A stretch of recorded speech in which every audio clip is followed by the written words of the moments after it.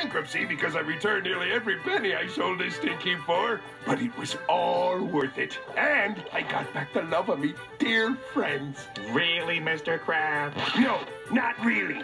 Get back to work!